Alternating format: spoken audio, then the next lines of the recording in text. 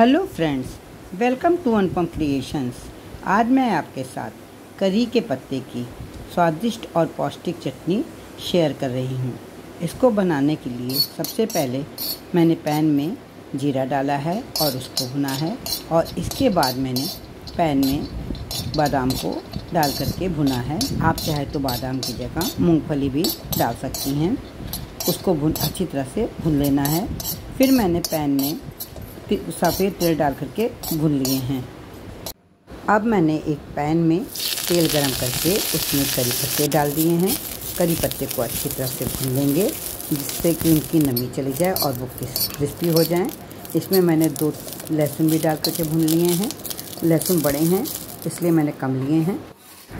अब मैंने mixie jar में जीरा डाल दिया है, बादाम डाल दिए हैं और भुने हुए तिलों को भी डाल दिया है।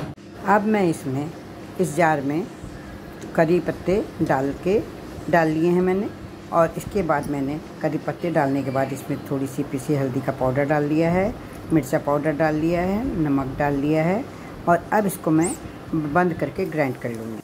पर मैंने सब चीज़ ग्राइंड कर ली है और ये हमारी करी पत्ते की स्वादिष्ट और चटपटी पौष्टिक चटनी बन करके तैयार है।